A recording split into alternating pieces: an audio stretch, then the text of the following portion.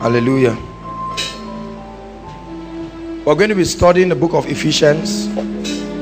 It's a Bible study, so please bring out something to write. There are some of you who, if you did not hear this girl's testimony, you will not bring out writing materials. Now you are bringing out your Bible. Say, I better write now.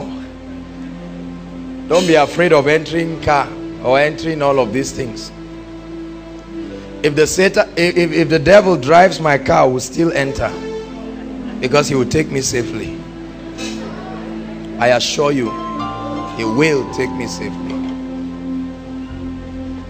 He will not even know what came upon him, but he will drive me safely.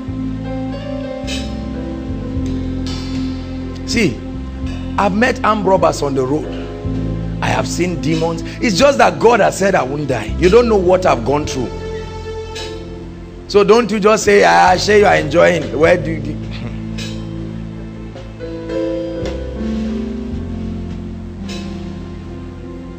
when you become full of the word you will be victorious. See if you refuse to be full of the word you will think we're acting this thing on stage. That's the problem. Those who don't invest in the word think he's just acting. They say it's not true Jared this person is just talking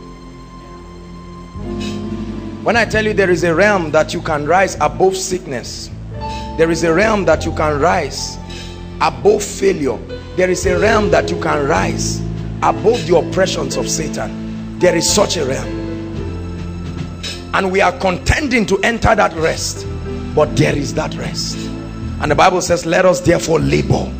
This is where we are laboring in the word in prayer so that we'll enter that rest. There is that rest hallelujah. Now the book of Ephesians um, it was written by Apostle Paul. I just want to give you a little background. The book of Ephesians theologically speaking it's it's been agreed among theologians and Bible scholars that the book of Ephesians contains one of the highest church truth. Do you understand? It contains one of the the highest explanation it gives the most precise description of the believer's work as far as um, our work in the kingdom is concerned Paul used the first uh, six chapters to explain uh, different areas of the Christian life. Hallelujah. Was written to the church in Ephesus, helping them to understand the realities of the life. I hope you understand that Paul uh, was not necessarily taught his revelations. I, I follow me now. He got it expressly by the Spirit. And so he got his revelation and so he wrote this thing to the church. But it was not just supposed to stop with the Ephesian church. It was supposed to be spread around all the churches that he had planted. Because it contained certain truth that Paul had received from the spirit. And we're going to be considering these things. Hallelujah broadly is divided into three. The first three chapters of Ephesians talk about our position in Christ the realities what we call new creation realities. It helps us to understand who we are on account of what Christ has done for us. So we are going to be examining that.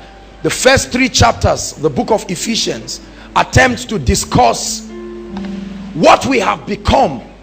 It contrasts who we were outside of Christ and outside of the commonwealth of Israel and then what the redemption of Christ has brought to us as a believer hallelujah so at the end of studying the first three chapters of Ephesians, you are supposed to know who you are. The whole concept of the plan of redemption. What really happened? We fell from grace. What kind of grace? So you get to understand the concept of grace and of redemption and the fact that for all have sinned, the concept of righteousness and the walk, the, the, the, the, the resting place. Hallelujah. So it teaches you and reveals to you your position that you are seated with Christ in heavenly places. That's the summary of the first subdivision of the book of Ephesians. It teaches you how to walk in the reality of your position seated in Christ. Hallelujah. And then chapter 4 and 5 gets to discuss what we call the walk of the believer. It talks about conduct and character how you walk in the kingdom w-a-l-k it teaches you how to walk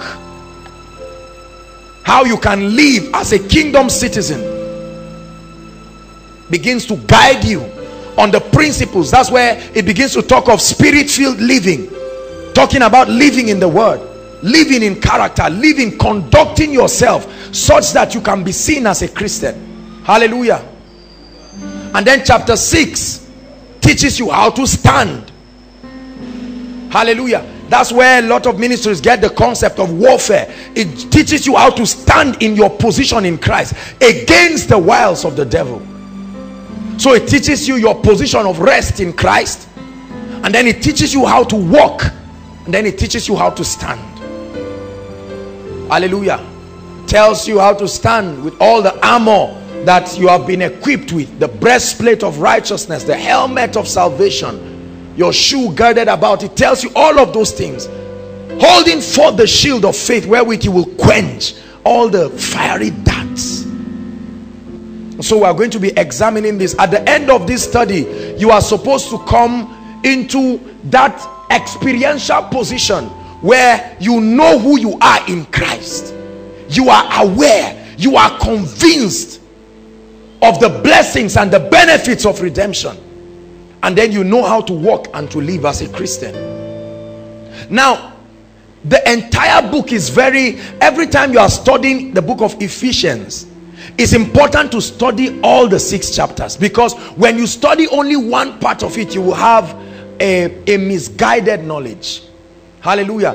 If the bible tells us we have been seated in christ why does it teach us to stand against the wiles of the enemy again are you following me now? If the bible tells us that we are seated in christ then why should it tell us again to still guard? I mean you are seated with christ. Satan cannot come there. The bible says he was judged out of heaven and there was no place for him again. Remember the book of revelations. He said there was war in heaven. Lucifer that old serpent he was judged casted to the earth and there was no more place for him. That's what jesus was speaking in luke when he said i beheld satan falling as lightning. Why as lightning? Because the angels move in that speed. He said he maketh his angels wind and his ministers flames of fire. And so he was casted from the heavens. Because remember in the book of job the bible says when the sons of god gathered satan was in their midst. I hope you realize that the bible was not written in chronological order. That means in the order with which they happened. If the bible was written in chronological order job will be before exodus are you listening to me? So the bible was not arranged in chronological order. The dispensation of job was called the dispensation of conscience. Because we do not see the manifestations of the law there. Hallelujah. The progression of the dealings of God with man is that from the garden of Eden right from the garden of Eden when man fell the word of God reveals to us that God had known. I hope you realize that God immediately man fell it was revealed in the garden there that the redemption of man will be the ultimate uh, solution through the shed blood of Jesus Christ. Because the Bible says that God killed a lamb and used it to cover what? Adam and Eve. That was a type of the substitutionary work of Jesus. It was a prophetic type of the atonement shown in the garden there are you listening to me? And now Adam. Adam was the first man God created after the judgment. Listen to me. Not the first man that was created in eternities. Adam is not the first man who was created from forever. No. Adam was the first man created after the fall of Lucifer. Hmm. Genesis chapter 1 verse 1 we're doing Bible studies the Bible says in the beginning God created the heavens and the earth then verse 2 says now the earth was dark and void and formless comes from two Hebrew words tohu, bohu. All of them, all these Greek words, they mean confusion and chaos, darkness. Every time the Bible talks about darkness, there are three words. One, ignorance. Two, confusion. Three, the manifestation of the workings of the flesh. So every time you study the Bible and it talks about darkness, it's talking about confusion, it's talking about ignorance. Every time the Bible talks of light, it doesn't just talk of the presence of God, it talks of illumination. And God said let there be light. That light was not sunlight because a few verses later the Bible says God made many lights. So what light did he say let there be hallelujah. So let's establish the fact that Adam was not the first man on the earth he was the first man created in the image and the likeness of God. Why? Because I needed to understand that between Genesis 1 verse 1 and Genesis 1 verse 2 were many, many years. Are you listening to me? It didn't just happen the way the Bible summarized it. 28 that's where the bible gives us a description of the one we know as satan today the one we call lucifer i hope you know lucifer was once an archangel Lucifer was the archangel in charge of worship. Just like Michael being the archangel in charge of war. Every time the Bible talks of the manifestation of war and standing in for the saints the archangel that is sent is Michael. And every time there is an activity that requires service delivering a message is who? Gabriel. That's why when Daniel was praying Daniel said he began to pray and for three weeks he was praying. And Gabriel was bringing him a message. But the prince that was surrounding the territory of Persia because the Bible tells us that the it gives us the the the the arrangement the strategic arrangement of what we want to call the satanic kingdom. Hallelujah. It says we do not our, our, our wrestle is not against flesh and blood but against what? Principalities and powers and rulers. And then he talks of some that do not function in the earth realm. He calls them spiritual wickedness in heavenly places. These are the ones that are in charge of territories. And now this spiritual wickedness was in charge of Persia. Because Daniel and the other people were caught in the Babylonian captivity at that time. And so he, he began to seek the face of the Lord. Hallelujah and when Gabriel was bringing the reply the prince of Persia stopped Gabriel. But Gabriel is an archangel. Should he not fight? No. The angels do not break their ranks. And so he kept praying until Michael the archangel came. Hallelujah. Remember in the book of Jude when the Bible says some of you don't read your Bible when there was struggle over the body of Moses the Bible says how that who Michael was struggling. He was supposed to take the body of Moses and Satan say it belongs to me. And now Michael could not fight there. He said the Lord because this was Satan. Are you listening to me now? The Lord rebuke you. Are you still here so Satan was cast. And when he was cast I want you to understand according to scripture the Bible says one third of the angels fell with him. Hallelujah. Imagine the kind of influence. Satan was the valued cherub. The Bible calls him there's no time sorry I would have gone in depth. Hallelujah. It calls him the valued cherub that covereth. His embodiment it was made of the objects of worship and he had access to the heavens and the earth. I hope you know by that time the then heaven here was there was no blockage between the heavens and the earth. There was free access. And satan could walk upon the holy mount of god until iniquity was found in him. What was the iniquity? He said i will exalt myself and i will arise above the stars of god. He wanted the position of god because he felt he could legislate and Satan alongside all the other demons. One of them being the demon spirits called Leviathan. How many of you have read about Leviathan? Some of you don't read your Bible only I, I receive. This it just makes you grounded. And then the Bible talks about the manifestation of Satan again. It talks of Apollyon. These were all of the of the angels that fell together with Lucifer. Hallelujah and so when they fell you see flood in scripture is symbolic of judgment. Are you listening to me? That was the it was the judgment of lucifer. His casting down from the heavens that led to the chaos of genesis 1 verse 2 do you understand now? Now the earth was dark void. And then the bible when it was time to recreate the earth then elohim the father the son and the holy spirit the singular is eloha one of the trinity three of them or any once is more than one is Elohim in the Hebrew. And Elohim said light be. In other words i withdrew you. That light listen is the life-giving dimension of god. Because when jesus manifested in the book of john the bible says in the beginning was the word and the word was with god and the word was god. He said it was with god in the beginning and through him was all things made and without him was nothing made that was made. He said in him was what? Light and that light was the life of men. So when he was saying let there be light he was releasing that factor that dimension of him that causes things to exist. He said let there be light. And he said there was light and he saw that it was good. Then he began to recreate the earth. And then he made man from the dust of the earth. I hope you know when he made man the word man there is adam. Adam is not just the name of adam. Are you listening to me? In the hebrew adam is man dust the woman was inside the man when he pronounced the blessing. That's why whether you're a woman or man you can walk in the reality of what the word of god says. The separation happened in genesis chapter 2 when he caused man to sleep and he took out of that man the rib and created the woman. Hallelujah. Are you following me now? So when you say women are weaker vessels based on what? Because when the blessing was being spoken to the man adam the woman was in the man. Are you listening to me now? And so adam became the the first recreated man in the image and the likeness of god. What is the image of god? The image of god is not physical. The likeness of god means two hands. God has two hands not three. The bible tells us there is a right hand meaning there is a left one. Are you listening to me? You would have just said hand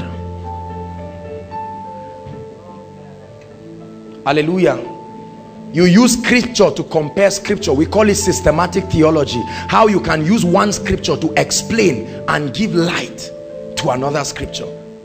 And then you are you are unable to take just one aspect of scripture and create a doctrine out of it until you can find the same operation in both the old and the new testament. Because the bible says in the mouth of two or three witnesses is a matter established. I follow me now? So one is the number of unity two is the number of witness. Are you listening to me? When the bible says hear o israel the lord your god is one. Now hebrew is a very big word. The only word that is close to hebrew is that we can liken in nigeria is yoruba. You can have many words. Do you understand? For instance the word en in hebrew en it means what is at for so it depends on the context. You need the holy ghost to be able to interpret some of these scriptures. That's why those who interpreted the early translations of the bible misuse certain words like authority and power. There are four words in scripture that are used to connote power. One is called kratos one is called iskos one is called exousia the other one is called dunamis. Most people just know dunamis and exousia exousia is the outworking of the word. Every time you take in the word in your spirit what happens is there is a buildup of what we call kratos the inworking of the word. When you are full of the word what you release is the outworking exousia the power of attorney. You are so full of the word that now you can represent him. And so when you take out time and pray in tongues the buildup of that dimension in you is called iskos. Is the power the inner workings of the spirit. When he said building up yourself on your most holy faith. That's the build-up. So when you lay hands on the sick what you release is dunamis the power the ability of the spirit able to reproduce itself. That's why you can lay hands on 100 people. It's like fire. You can use one candlestick to light many. Are you listening to me now? Where are we? We've left the book of Ephesians. Are you learning something we want us to know the word of God and to appreciate the workings of the word. So God created man. Let me tell you something about Satan. Satan is a spirit one of the fallen angels now fallen. Are you listening to me? He is fallen. Say after me Satan is falling there are certain attributes of Satan I would want you to know even as we start. Number one Satan is not omnipotent. In fact let me put it this way. There are three attributes that make God God all by himself. Number one he's omnipotent. The word omni means all. Potent means ability. All powerful omnipotent. The, number two he is omniscient. Omniscient means all knowing all knowing he knows all things. Number three he's omnipresent. The psalmist said where can we hide from your presence? Omnipresent means he's everywhere. Whoever can possess these three attributes at any given time is called God. Whoever at any given time can be omnipotent omnipresent omniscient God. This is what Satan cannot be everywhere at the same time. Are you listening to me? For instance he's not here are you listening to me? So don't just sit in that fear and say it's satan? No. Satan is not everywhere. He cannot be everywhere at the same time. Because when he went to god in the book of job god asked him he said ah from where are you coming? He said what? From going to and fro. But you never hear god saying going through and through. it's only his eyes that go through and fro. He's called alpha omega. The word and is an error in the translation it's not and omega. Alpha omega. That means there is nothing called future in his presence. Everything lays bare. It's not called alpha and omega. Alpha is the first of the hebrew letters. Omega is the is the last. So it says he's the first and the last. Alpha omega. Hallelujah. So satan manifests with different spirits. Different manifestations of spirits hallelujah. And there are many of them. Death is one of them. Death is not a phenomenon. Death is a spirit. Are you listening to me? The bible says that there were four riders upon the horse in the book of revelation. And he said one of them held a pair of balances and the name of that spirit is death. So it's a spirit. Hell is a spirit for instance. Hell is not just a location. I've told you hell is in the earth. Hell is right at the center of the earth hell lies in the shape of a man and enlarges itself every time. The psalmist is seeing this by revelation. He said hell enlarge itself. He said i will go down to the pit where their worm dieth not. Hallelujah. I hope you know that jonah went to hell. Jonah didn't just stay in the belly of the fish. Jonah went to hell. Jonah began to give descriptions of the gates and those in chains and in hell so hell is a spirit. The bible says that at the judgment when the sea will give up all those that died in it. Are you listening to me? And then he said hell will give up all those that died in it. He said hell death the last spirit that will be destroyed is death. He said hell death and the grave will be cast into the lake of fire. No man is in the lake of fire right now. The lake of fire is part of god's kingdom. He designed the lake of fire for the punishment of satan so all those that have died and gone to hell have not started the punishment. It is when satan is officially taken to hell that their punishment will start reading. Because every time we we call it in theology the doctrine of interpenetration how two people can become one. That's the mystery of marriage wherefore shall a man leave his what? Father and mother and cleave to his wife and they two shall become what? One. That's how the bride and the spirit the church and the holy ghost became one. He that is joined to christ is what? One spirit. Now he that is joined to satan is also one spirit. Are you listening to me? He that is joined to satan is one spirit so how does satan carry out all his activities? He tries to mimic the operation of the trinity because the administrative structure of heaven is such that the father is always the initiator. The word is the one who speaks things into being. the holy spirit is the pentecostal arm of the trinity. He's the one who makes things happen. That's why in genesis chapter 1 verse 2 he was the first of the deity to be revealed. And the spirit of god hovered round the face of the waters now satan also tries to mimic the operational organogram of heaven by trying to create what we know as 666 666 is not just something people will receive on their head and their hand. 6666 is the number of a man. Are you listening to me? One is the number of unity. Two is the number of witness. Three is the number of establishing a thing. And then it's also the number of trinity. Four is the operation of the holy spirit. Five is the number of grace and mercy six is the number of a man seven is the number of perfection eight is the number of new beginnings I follow me now. So 666 is Satan trying to mimic the operation of God. The first six stands for Satan who wants to be the father himself. The second six stands for the Antichrist. The Antichrist is both a system and a person the antichrist government started at the birth of cain and cain departed from the presence of god and built a city naming it after his son enoch. The same spirit of the antichrist followed nimrod and nimrod said let's build a city whose tower will reach the heaven. The same spirit was upon nebuchadnezzar and he built babylon. The same spirit was upon jezebel and ahaz. The same spirit was upon herod. The same spirit was upon herod in the book of acts. And the same spirit is what is explained in the book of revelation the mystery babylon. So there is the antichrist as a system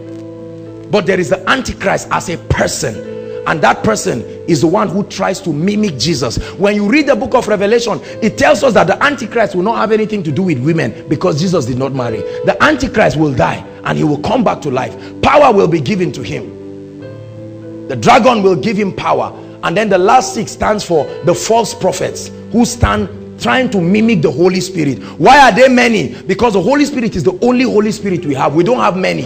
We have him. But because Satan cannot be omnipresent, so he uses many people. Your rap artists, your, your the, the touts around town, they are all the manifestation of that spirit. Are you getting something?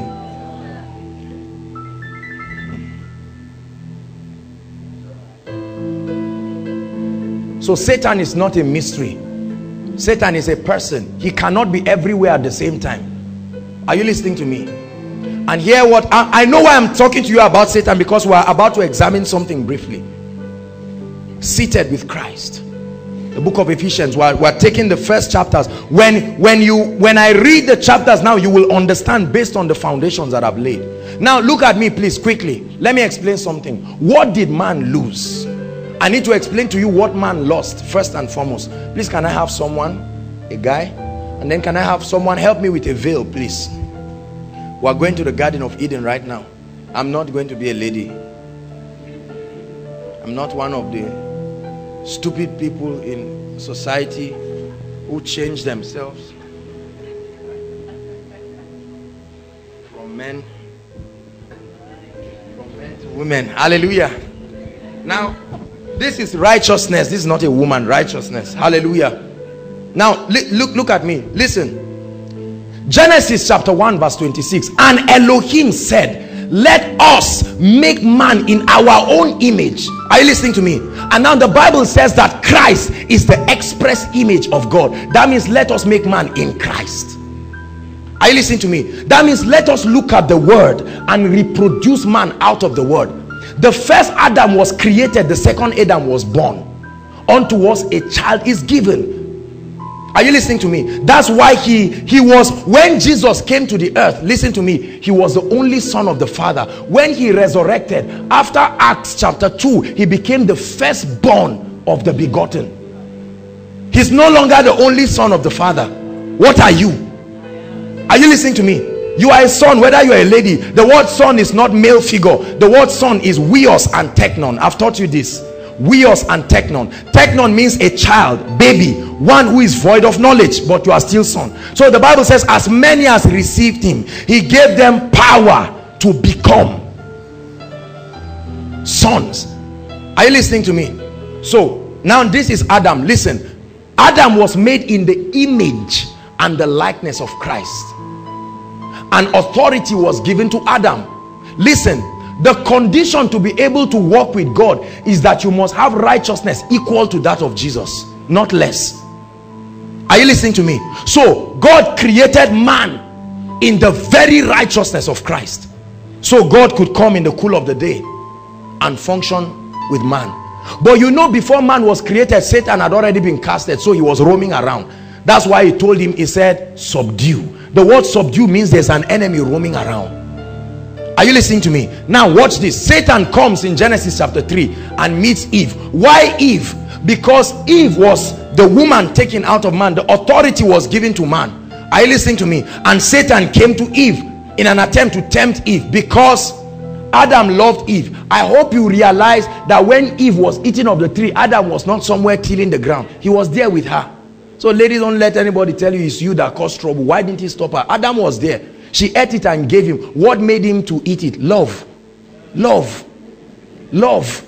Is still what is throwing people today. Love. No, now follow this. Are you listening to me? So Satan, listen. Satan's ultimate quest was not Eve. He needed to use Eve to get Adam. So now the second Adam comes as Christ and the Eve is now the church. Are you listening to me? So Satan still wants to take that authority, but now he's attacking the Eve of the second Adam, which is the church, the body of Christ. That's why the Bible calls us the bride of Christ. We are the bride of that second Adam. Now, he has righteousness. Satan comes and tells Eve, did God really say that in the day you eat of this tree, you will die? Let me tell you Satan's strategy. Every time Satan comes to you, the first thing he will do is to attack what God told you. God announced over Jesus, this is my beloved son in whom I am well pleased. He goes to the wilderness after 40 days. Satan said, if you are really the son of God, didn't God just say it? 40 days ago, God said it. Satan said, if it is true, prove it. Just like Satan looks at you and says, if you are truly beautiful, prove it. And he said, man shall not live by bread alone. What is bread?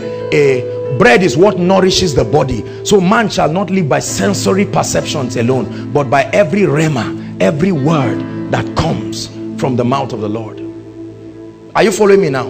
We've not even started the teaching of Ephesians. This is just the background. Hallelujah. Now, Adam was created having this. Say righteousness. Now, right, everybody. Righteousness is the ability to stand in the father's presence. Righteousness is the ability to stand in the father's presence without a sense of guilt without a sense of inferiority and without a sense of condemnation.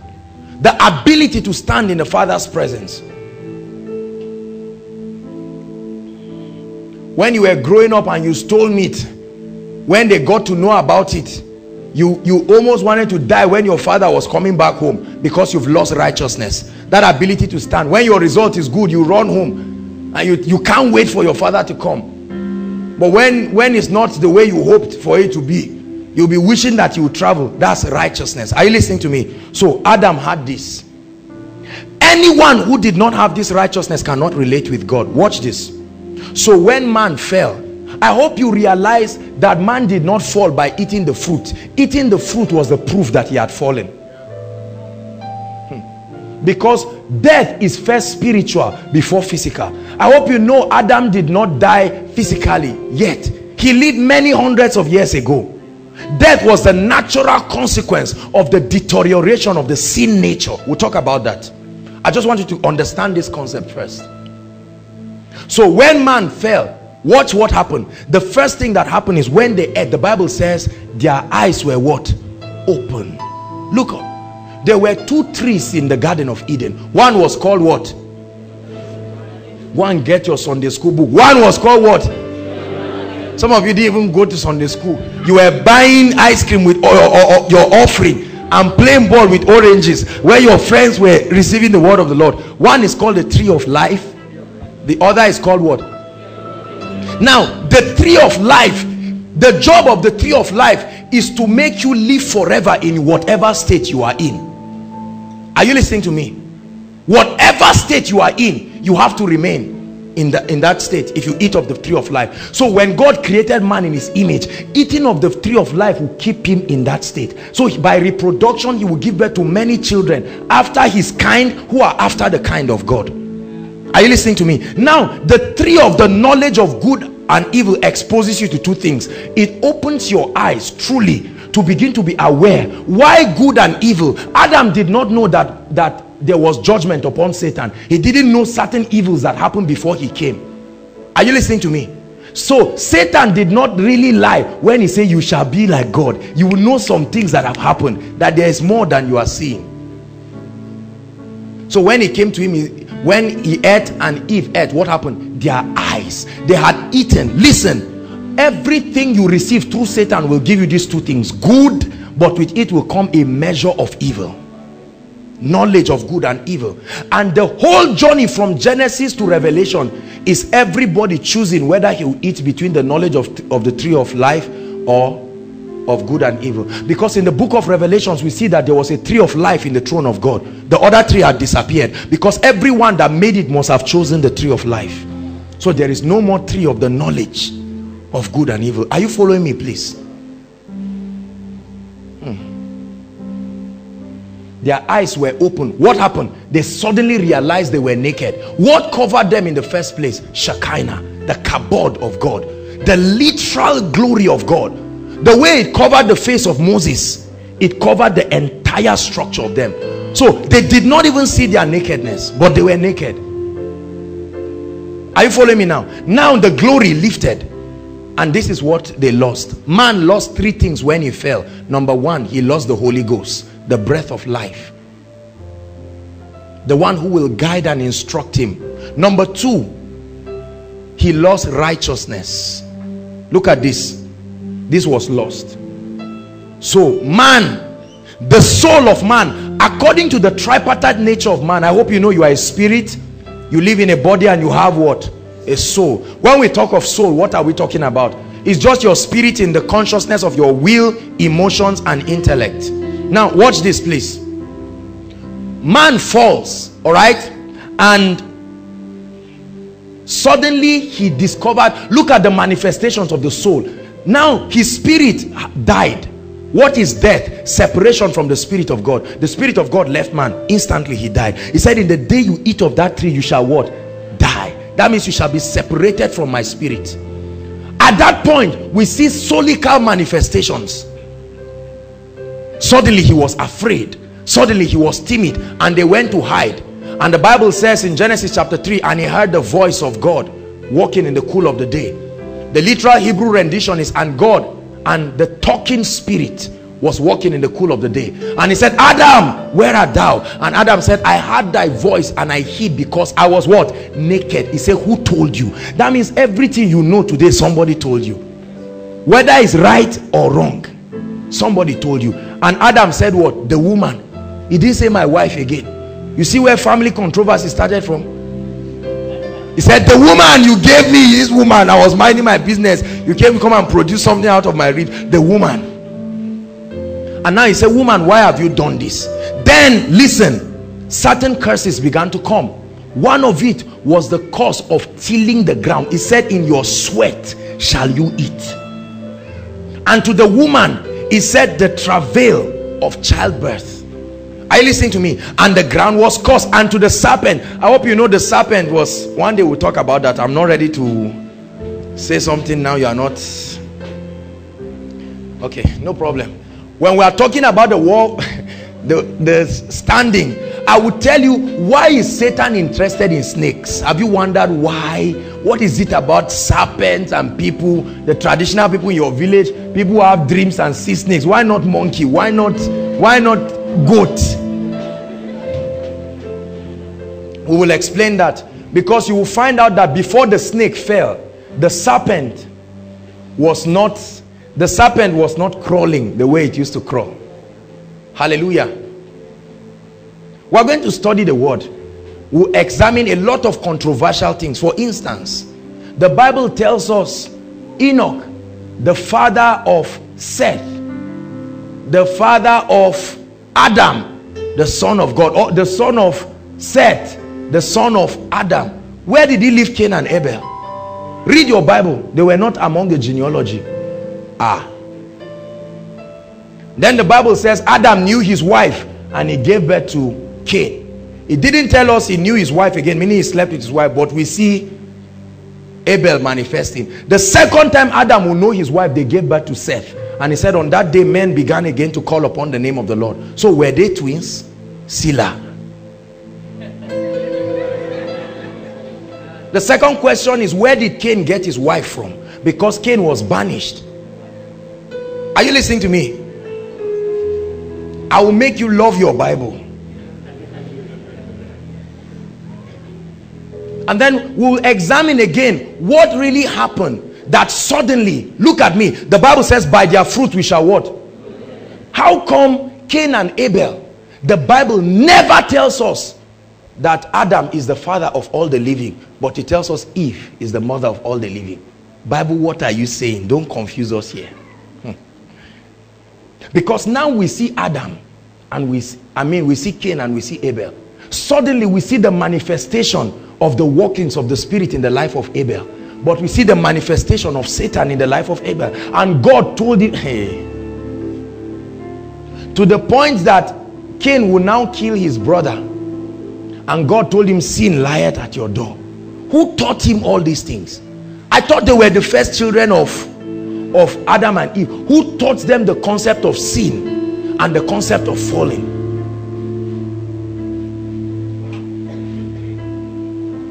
Who is the father of cain? Who is the father of abel? Who is really their father because this was the revelation paul was trying to give the people in romans chapter 7 he said within me although i came out from one womb the womb of the word of god i see the manifestation of two persons in me he said, with my spirit I serve God. However, I turn and I see another law working in my members. So that the things that I want to do, I do not find myself doing. And the things that I don't want to do, I find myself doing. He said, oh wretched man that I am, who shall deliver me from this body of death? Then verse 8, chapter 8 verse 1 starts. He said, there is therefore now no condemnation to a certain kind of people. Are you seeing the relevance? Don't think we're just bamboozling through history. No, no, no, no. We're trying to check something because the bible says cain departed from the presence of god and built a city. That's where the antichrist government started from. It started from cain. How did this happen? Didn't adam teach his children well? Could it be that cain had another father?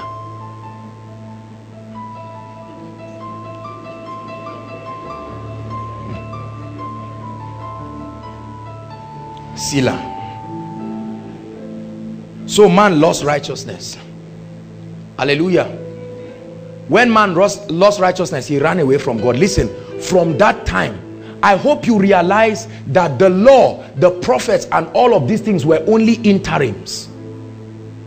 Do you know the law that the law was not part of god's original agenda for man you know the manifestation of the prophets of old. The prophets of old paid both prophetic and apostolic roles. Because one of the proof of an apostle is that you must have an encounter with the lord jesus directly. Paul said am i not an apostle? Have i not seen jesus? Are ye not the seal of my apostleship? Are you listening to me? Now no man had at any time seen the word because until then the word had never found expression physically. He was only the word. Are you listening to me now it was only when the Holy Spirit turned the word to become a seed and planted the Bible says he appeared before men and they saw him.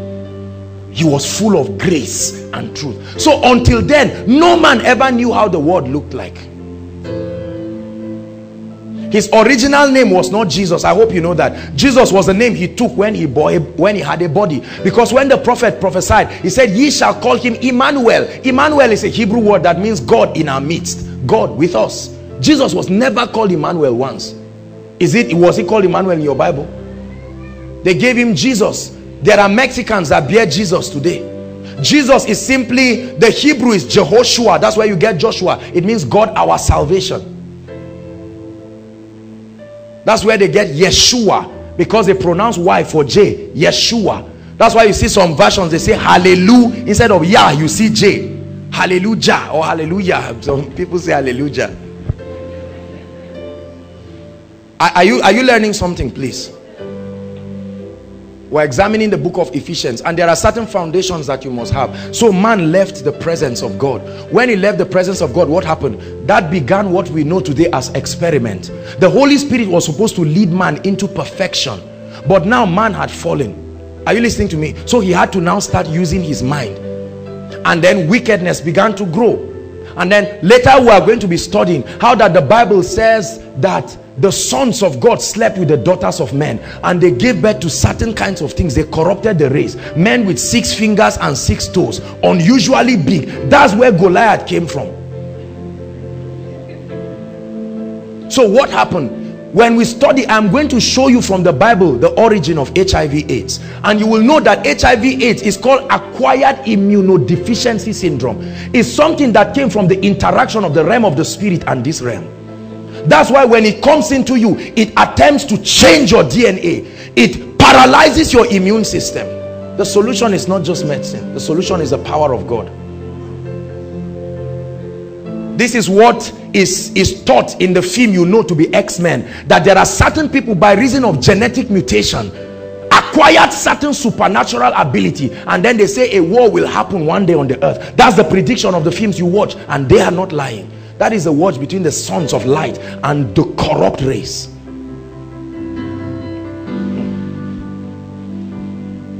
Some of the films you watch some of the pictures and the demons that they come from do you know they are real demons one day i saw the advert of a movie and i saw a you know all these kind of funny films. I've seen that demon in the realm of the spirit and they use the mask of the demon in a real film. I said what the heck? The producers of these films are real men of the spirit. Don't you think they are just intellectuals? They say he has phd whatever. Uh -uh. these men go by divination and sorcery and they have a covenant with satan and they come up with the pictorial representation of these demons for instance the way michael jackson dances is a, a, there is a, there are evil spirits that dance that exact way. It is when they inhabited him that he started doing that. It's not a lie. This is true.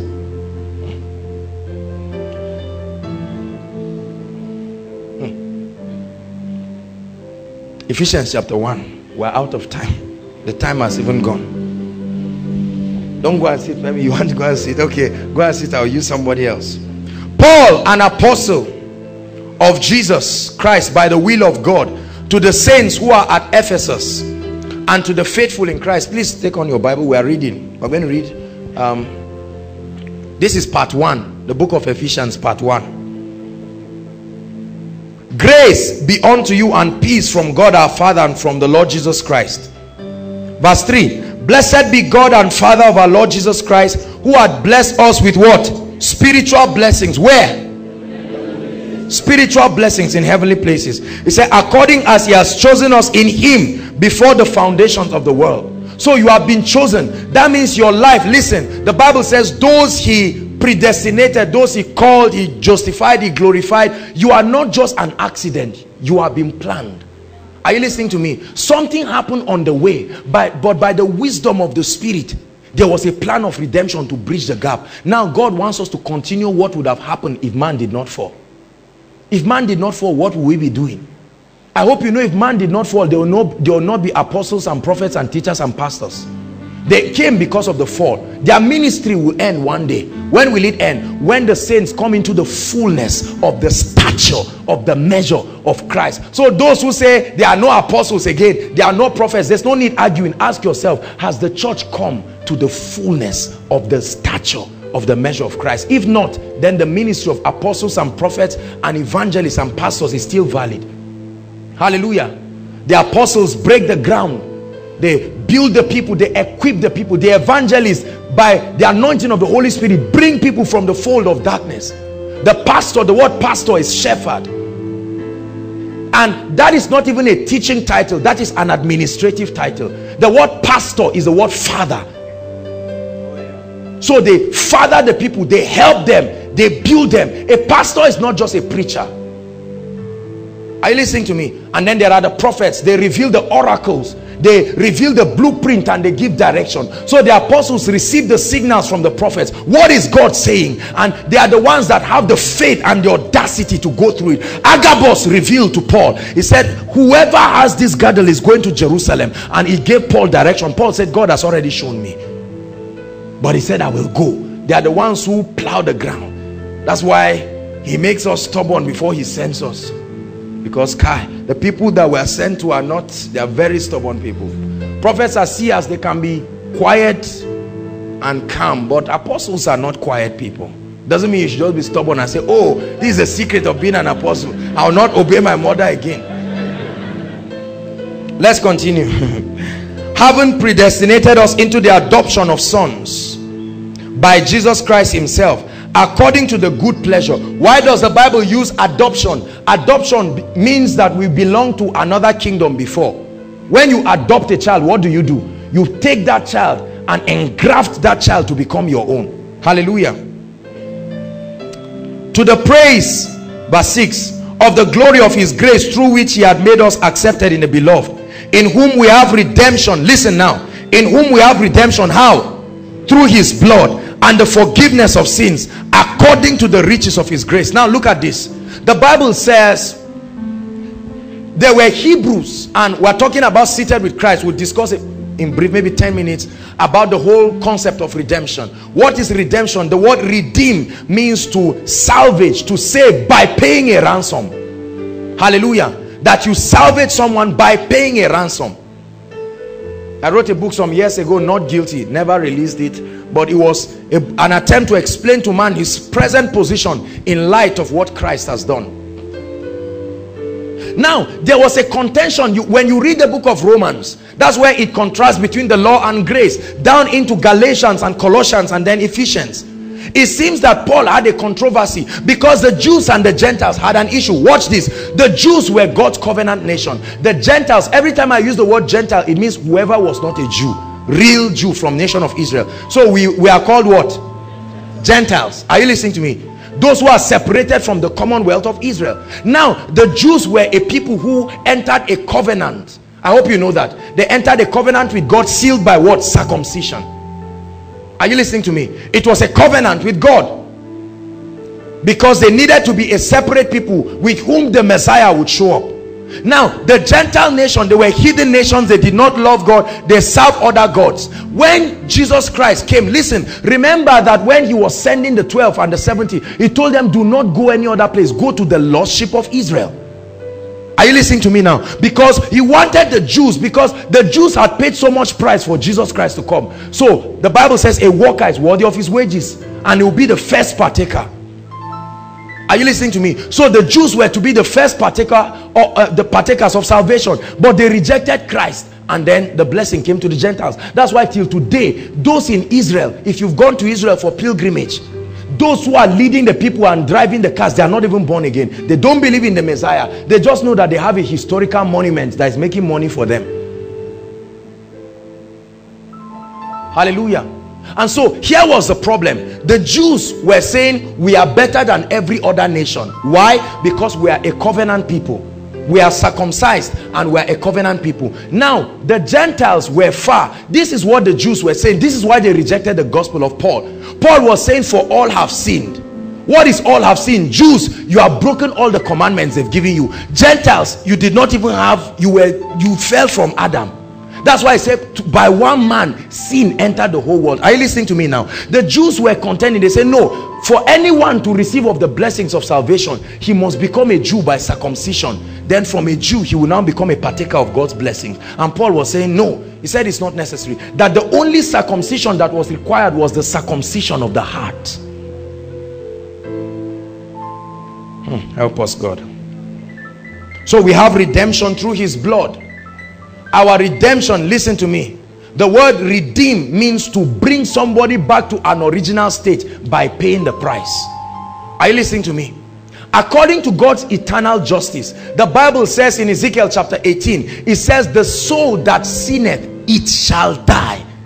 The soul that sinneth it shall die. So according to the verdict of God's justice when man fell he was judged. Is that correct? In the days of Noah the Bible makes us to understand that men be began to do things that displeased God and he judged the earth with a flood. And then there were eight people. Noah his wife the three sons and their wives. Why? Because eight is the prophetic number for new beginning. So God was beginning a new race. Now God knew that he would not need to keep killing people and wiping one generation after another. Then they had a plan. And that plan was Jesus Christ. Are you listening to me now? So the prophets came to guide the people. To guide the people in the way of the Lord until the manifestation of Jesus Christ. When Jesus showed up he showed up as the one. John said the one who sent me told me that the one on whom I see the Holy Spirit descend he is the Lamb of God. And when he saw him he said behold the Lamb of God. So everything that happened in the Old Testament was a foreshadow. A foreshadow. Are you listening to me? So Jesus comes and walks upon the earth. Jesus came for two reasons and none of them is to take you to heaven. Listen to me hallelujah. The first reason jesus came was the ministry of reconciliation to reconcile us to the father.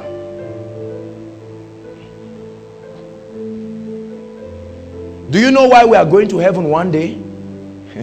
Look at me. Do you know why we are going to heaven one day? Because satan must be judged and the prophecies that have been written they are called the written judgment. They must be executed upon the earth. And the bible says let that him that letteth will let. That means it is the church who, who are the light of the world that are withholding the manifestation of the antichrist. The antichrist cannot manifest when the church is here because light shines in the darkness. So don't let anybody fool you with all of yes the government of anti of the antichrist is already being formed. Are you listening to me? But the antichrist cannot show up until the church leaves the Holy Spirit will need to give way for that manifestation. So who are those who will be the missionaries? The Jews. When they see the exit of the church, truly they will know that they have been misled because they are waiting for the manifestation of the son he came in a manger and they said according to their prophecies he's supposed to come with great chariots and horses and so they are waiting for the manifestation the coming of jesus the what we well will I call it second coming? The second phase of the exit. For those of you who have been taught that there is nothing called rapture change your mind. There is something called rapture. There is no word rapture in the bible just like there's no word trinity in the bible. Every time you see a word that is used that you cannot find in the bible you search for scriptures to confirm it.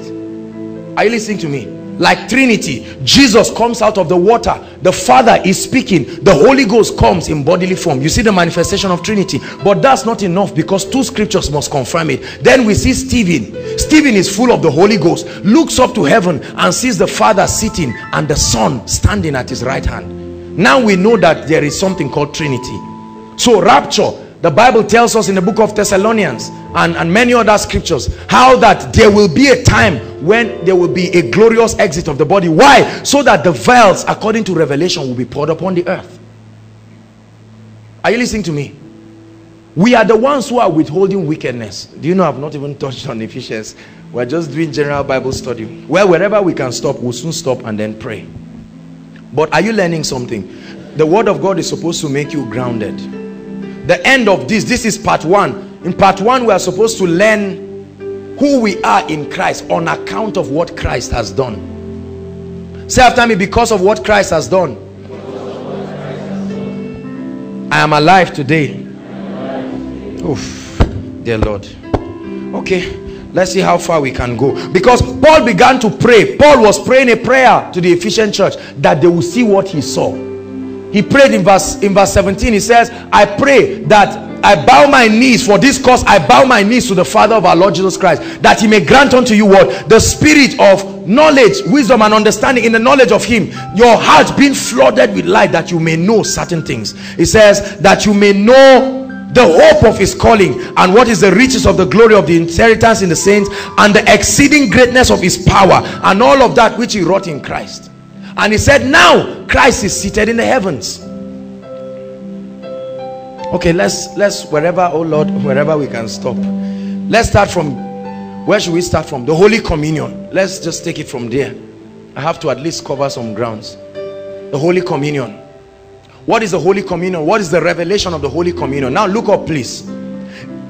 By this time it was evident that man had fallen and the only remedy is Christ because the, without the shedding of blood there is what? No remission of sin. And any soul that sinned it shall die. Is that correct? Now man sinned. I hope you know that the concept of sin listen sin is first a nature before an act.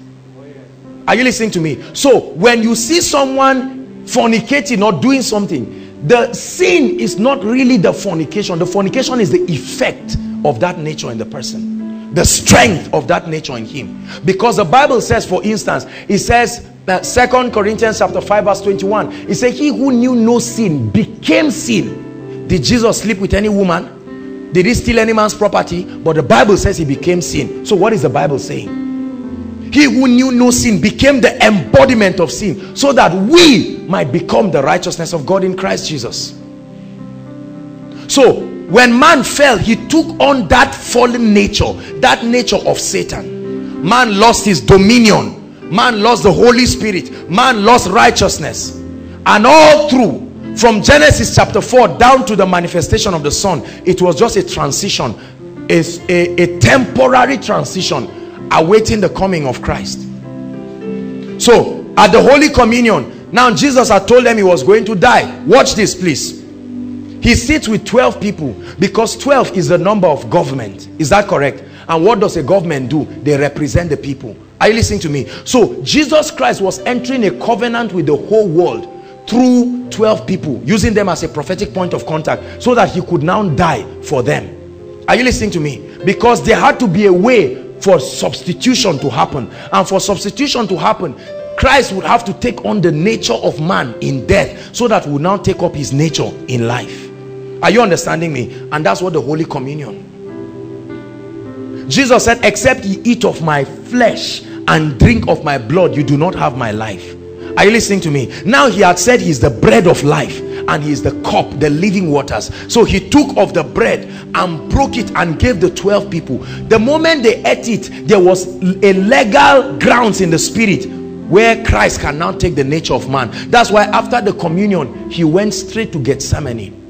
What was he doing in Gethsemane? He was crying. No he was not crying. That's where what we call the exchange began to happen. The substitutionary sacrifice of Christ. Are you listening to me? Him becoming sin for us that we might become the righteousness of God in Christ. This is what Paul is trying to explain. If you do not understand what Christ has done you will not know who you are. You see why he says we are seated with Christ? Sitting symbolizes rest. Is that correct? So everything as far as your redemption is concerned you did not do anything it was Christ that did everything. So if you try to do what Christ has already done it will be futile. You just need to embrace what Christ has done and walk in the reality of it. Are you listening to me? Now when Jesus was at Gethsemane listen. You know why Jesus cried and said father if it be thy will please take this cup off me. What cup was it? The cup of death on the cross? No no no the cup of separation. For the first time the trinity were going to be separated. The holy spirit who came upon jesus christ like any man at baptism would have to leave him so that he can die. Are you listening to me? The holy spirit came back after three days and resurrected him back again from the dead meaning he left him. When the bible says he gave up the ghost he gave up his spirit not the holy ghost the holy spirit left him. That was the only condition for him to pay the price that he was paying. So that cup was the cup of separation because listen it was in Gethsemane Jesus began to become the Adam. I hope you know that on the cross he didn't start dying there. He finished his death on the cross. The death started in Gethsemane. Because Adam first died spiritually is that correct? And then he died physically. So if jesus were to qualify and meet the condition of being the second adam he will have to die spiritually first. And what is spiritual death? Separation from the holy ghost. So the holy ghost left him in gethsemane and then they held him. Watch this. From that time he did not become jesus the christ. There was no more christ in him. Christ comes from the word christos the anointed one and his anointing. He was no longer the christ. He was jesus sin. Me and you. The embodiment of every sinner. Are you listening to me? Now he began to pay the price that me and you would have paid. So let's have jesus here. There's something very lovely the catholics do. Sam you are jesus. They remember during lent period they get a jesus and move him around now watch this. Man fell. Every king has a crown on his head. Is that correct? Your crown is the symbol of your royalty. So man when we fell we lost that symbol of royalty. So a crown of thorn was put upon his head in substitution for the restoration of our royalty. Are you listening to me that's why a crown of thorn was put. Everything that happened to jesus from gethsemane was the substitution. And so they took him. He was naked. Why? Because the first adam lost the glory and he was naked. I hope you know that all the covering you see around jesus was just for social reasons. He was naked. Now when they took him this is what isaiah saw. He said who has believed our report to whom has the arm of the lord been revealed? He saw jesus battered the same jesus that he said unto us a child is born unto us a son is given. Now isaiah in his prophecy he was seeing in a vision and he saw jesus disfigured. He said he was bruised beyond recognition. He said by whose stripes we are healed. Watch this. So jesus christ was taken and the roman whip this is how they flog people. Sam put your hand here. Watch this so that there's no hope of touching it it's not the way they flog people now. And when it was a way of torturing criminals are you listening to me? The roman whip had about 10 compartments. And at the tip of it they used bottles and nails. It was a way to torture criminals so that they'll confess. When they flog you with that cane you say there's no hope of lying. Let me just tell the truth. There's there's there's no hope of lying. It's, it's not wisdom now i want you to understand i'm teaching you the substance this is what paul saw by revelation because he was not there when this was happening. Are you following me now? And they flogged him. Every time they flogged you the cane will wrap around you and hook to your flesh. So when they pull it out part of your flesh will fall. That's why they, that's how they beat jesus. Now isaiah was seeing this and he said this was in exchange in exchange to restore you to health. Because the soul that sins it shall die. Are you listening to me? Now when christ was suffering you were in him. Are you listening to me? Why? Because we took up the communion together. So now whatever he's going through in the realm of the spirit we were this is what you would have gone through for your own sins. But christ said let me show you love he said you just step by. I will do everything for you. Whatever the result is i will get it. So when somebody tells you ladies when he say if not you enter well tell him just love me like jesus. That's all i want. And you will see whether i can truly love like jesus. Do you know what jesus went through? We were going to die and jesus said no you can't go through this. He told the whole world. He said stand. Come into me by covenant and let me suffer for you so that everything i'm doing you see that? So satan did not know. When jesus gave himself satan was out to destroy the seed of the woman because there was prophecy that the seed of the woman will bruise the head of the serpent. So when jesus gave himself satan was happy and he said crucify him. He did not know that there was a covenant paying the price for the whole world. Are you getting it now? So he was happy when they were beating jesus and the life of the flesh is in the blood when man was created from the beginning there was no blood. When jesus christ resurrected there was no blood. And it is that bloodless life that he gave you. Follow me. Listen listen listen. I want to shock you. I know many of you say ah, don't deceive us. Okay. Hallelujah. Now jesus was beaten. When he was beaten they spat on him. They did everything. The bible says in galatians chapter 3 christ has redeemed us from the curse of the law who are the us? Gentiles. Being made what? How did he redeem us? By becoming the curse. According to jewish culture every man who carries a tree you know it was a tree that fell man from the beginning. So christ had to now carry that tree. Are you listening to me? It was from the foot of the tree that man solidified his fall. Now he lifted it to golgotha. Golgotha is called the place of the skull. That was where adam it was where adam died the skull the place of golgotha. Golgotha means the place of the skull. The exact same place he was going there to be the second adam. Are you listening to me? Now when he took off the cross he became the curse. So that in him i was carrying my cross too. Are you listening to me? And then while he was going to that cross he encountered a man called simon simeon of cyrene you know who Simeon of Cyrene is? He was a black man. This is why I tell you Africa and the black race participated in the substitutionary work of Christ. That's why there is a glory that Africa will reveal before Christ comes. Yes, it's prophetic. When Christ was suffering, the Bible says that who will partake of the sufferings of Christ and the glory that follows. So that Simon was a black man it's not today they started belittling the black race. And so they said carry the cross. Now the african continent in one man participated and helped jesus christ helped him and took that cross. And he took him to the cross. Watch this. Now jesus is in the cross. There are two thieves whatever they stole. They are on one side and another side. And jesus is here. Are you listening to me now he stretched his hands. Listen the death on the cross was the worst form of death. They will call everybody in the city to come and look at you. Jesus was hung naked. A 33 year old man the only clothing on him was the blood. Watch this. And he stood on that cross. And when they nailed him his hands and his feet blood was already flowing. Listen the moment the blood touched the earth. It gave room for the atonement of our sins. Are you listening to me? Because man was made from the earth. When that blood touched the earth when he hung upon that cross it was a substitution. It was him conquering the tree and the power of the nature of satan. Are you listening to me?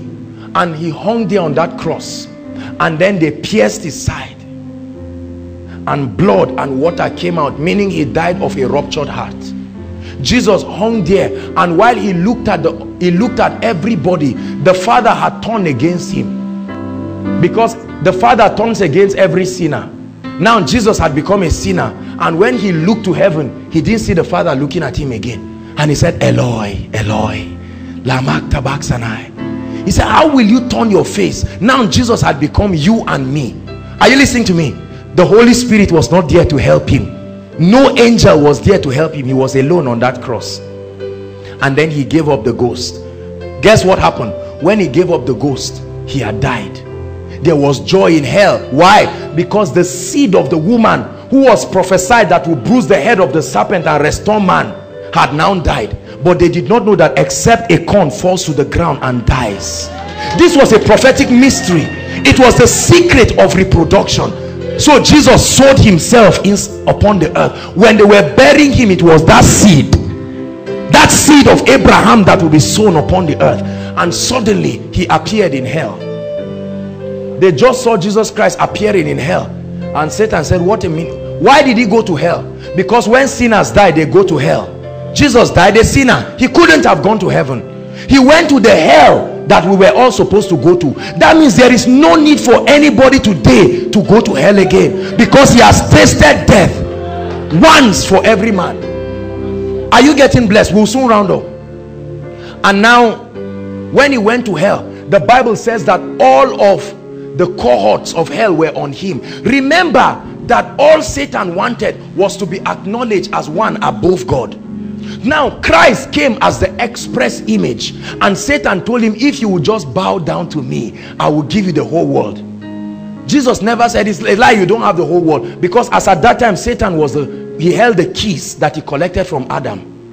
Are you listening to me? He held the keys. And so jesus went. That was the key that held your destiny your life your breakthrough your healing for the entire race. You couldn't have done it by yourself. And so jesus said don't worry i will go and do it for you now when he stepped all the demons were upon him because satan said you must bow to me by force. He said everyone in hell bows to me. And now jesus shows up and says satan you will bow to me.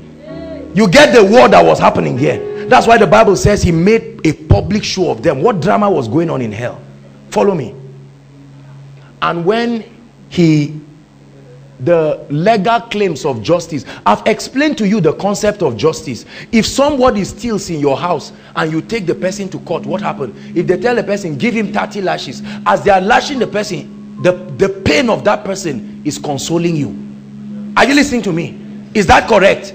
That's how because man offended the father it was the punishment of man that will appease him and jesus became that one. So for every time they were there was a measure of justice that will appease the father's heart. That's why nobody protected jesus until the legal claims of justice was full. And he said all right the father's heart is appeased. And jesus got up and made a public show. The bible says you know what he made make a public show? Have you watched wrestling where the other party didn't even punch the person once? That's what happened. And then he went to satan. Watch this. When he went to satan he said give me the keys. Which keys of joshua selman's life and destiny. In the book of revelations he said i am he that was dead but now i'm alive and i hold the keys. You see that? When he said that watch this in him every one of us stretched our hands by covenant and said let me have my own too and that of my father and my mother and my brother. This is what paul saw by revelation. Now he collected the keys. Follow me now psalm 24 when he when he had the keys no don't open. We're out of time. When he got the keys he was about to go out. And suddenly there was a clarion call. Lift up your heads and be ye lifted oh ye ancient doors. Hold hold on. Those gates were living. They were not dead. Those were the gates of hell. He said i will build my church and the gates of hell those gates were the gates of hell because no man listen until that time ever was permitted to go condemned as a sinner and then come back again into the world to come and redeem men. But here was this man. He came and there was an announcement from heaven lift your heads. In other words gates open up. Somebody is about to leave hell and come back again. And the gates ask a question. They said who is this king of glory. Look at the words king of the glory that man left. And then he said who is this king of glory? And the voice said the lord. Why did he give him the attributes of a warrior? He just conquered satan. He said the lord strong and mighty. And the gates asked again lift up your he said lift up your heads o ye gates and be ye lifted o ye ancient. They had swallowed people nimrod ahaz different people followed that gate. And he said there is a king that entered and wants to ride back. Who is this king? He said the lord of hosts is his name. Suddenly the gates opened and jesus stepped in. And the holy ghost.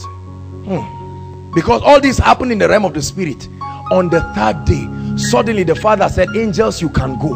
And michael came and rolled the stone and sat and said let me see the person who will come and roll it back and the holy ghost came. Listen.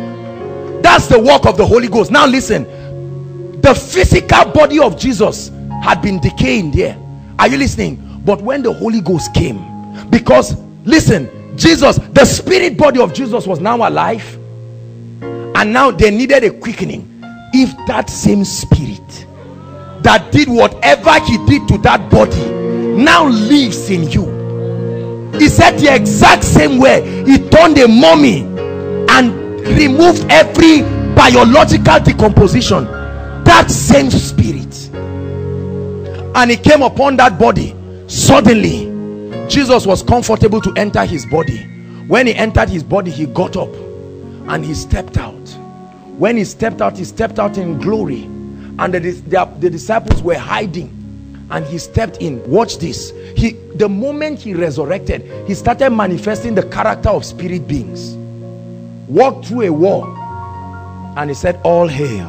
Hmm. in other words job done.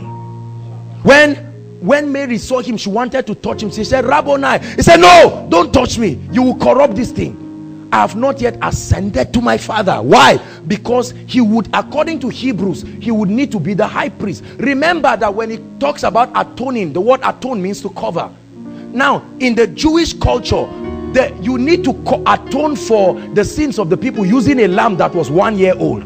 And it was spotless. Now Jesus became the lamb. The problem is or the the advantage is that he doesn't have age. So the age of the lamb determines the validity of the atonement now jesus became the lamb and poured the blood from that ageless lamb.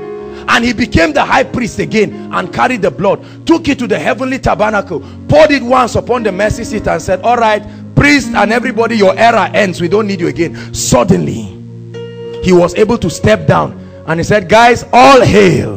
He says all authority. Listen philippians chapter 2 happened before he came back that was where the coronation service happened. Immediately. It was not when jesus left in the book of acts. No he had become lord. And then he came and said all hail. All authority in heaven and on earth has now been given unto me. He said you now go in that authority. Are you ex are you are you following me now? So how does this apply to you now? Watch this. The moment sam comes out for altar call watch this please. And you confess the lordship of jesus over your life and you believe in his substitutionary work. Not just that he died for you but that you died in him. Say i died in him. I was wounded in him. I paid the price in him. The moment you make that decision what happens? This robe remember our good old robe again. The very righteousness of jesus even if you were a drunkard right there with alcohol in your stomach listen you look exactly like jesus before the father. And now jesus takes you as the mediator and says father behold. And the father said i cannot see a sinner. All i'm seeing is somebody as exact as you. We are now partakers of his divine nature. This is your present day reality in christ. Now demons listen when you catch this revelation and you activate it the realm of the spirit will receive the signal that you know who you are. Are you listening to me? And the seal of the blood is upon you. And the proof that the deal was done is he sends the holy spirit to come into you whereby you cry abba father. Now you can call god my father. You're not just a stranger somewhere. Are you listening to me? Now the holy ghost comes. What happens when he comes you are blood washed you are redeemed. If jesus christ comes are you going to go to heaven? Yes you will. Why? The proof that you go to heaven is that you have the holy spirit. Any man that does not have the holy spirit in him cannot go to heaven. Hmm. are you listening to me? Now what you call eternal life look at me.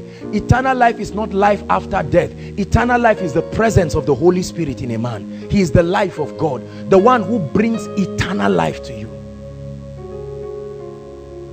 and then you are sealed with the blood. So you have been an armed robber. You have been a cheat. You have been whatever you are. This is why a lot of people cannot understand the message of righteousness. Because it looks like it's unfair. How can you say i've been a Eh, I've killed people. I've done all kinds of things. The moment I come to Christ with a broken heart suddenly I become the righteousness of God in Christ. And he looks at you. Listen to what God says. He says not guilty. Let me shock you. Do you know what not guilty means? Not guilty means you did not commit any sin. Come on God. Come on God. When we say guilty but pardoned it means you fell. Are you listening to me? And somebody has bailed you. But now God says you are not guilty not guilty means whoever was on the cross was the person who committed that sin. And now we see Christ on the cross. And he looks at you and says you are free. Lord I'm free. I killed people. I drank alcohol. I did all kinds of things. He says whatever you are saying I cannot see you again. There is an eclipse of the blood between me and you. And anything seen through the blood is holy. That's why the Holy Spirit the spirit of holiness comes upon you so say I'm the righteousness of God. Now look at this. Now this guy is born again. Watch this. Sam is born again but he finds himself walking in a path that is ungodly assuming he finds himself fornicating again. And this guy loves God. He's born again. He's praying in tongues and he finds himself what happened? The bible says i write these things to you that ye sin not. He said but if ye sin ye have an advocate with the father even jesus the righteous. This is the hope of the believers. Listen to me that you are the righteousness of god. And listen listen please. I need you to get this. When a believer falls or a believer commits acts of sin what happens? Has the person lost his salvation? No. No. There are two conditions to lose salvation. One is that you practice the sin of rebellion. What is rebellion? Willful perpetual continual breaking of the laws of Christ consciously.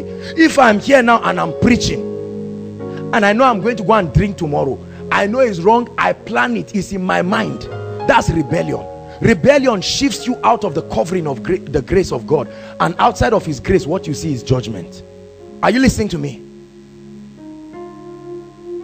so God is not some perfect God who is waiting. And the moment I look at this person and I'm angry and I just slap it hey hell no.